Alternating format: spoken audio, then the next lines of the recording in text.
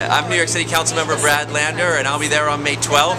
We need a fairer New York City. The institutions, the banks, and the Wall Street firms that caused the financial meltdown are doing better than ever, refusing to modify people's mortgages, and yet the people who have been hit by the crisis are being asked to sacrifice even more with teacher layoffs, the cuts to daycare slots, cuts to seniors. It's time to stand up and say those folks who got us in the mess to begin with are need to pay up and make sure that all New York has a chance for a strong future. That's why I'll be there on May 12th.